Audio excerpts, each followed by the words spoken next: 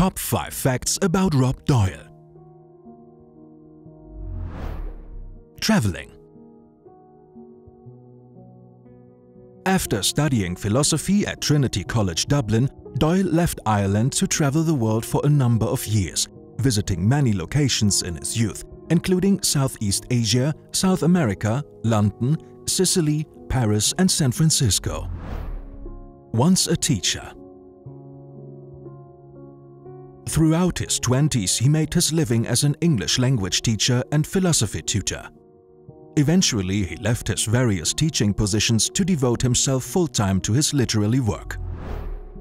Drugs and Real Life Many of Rob Doyle's work touches on themes of drug use and the subcultures of humanity. In his 2020 semi-autobiographical novel Threshold, he used many of his own experiences for inspiration. Journalism As well as being a novelist, Rob Doyle is also a seasoned journalist whose articles have appeared in the New York Times, The Observer and the Dublin Review. Adaptation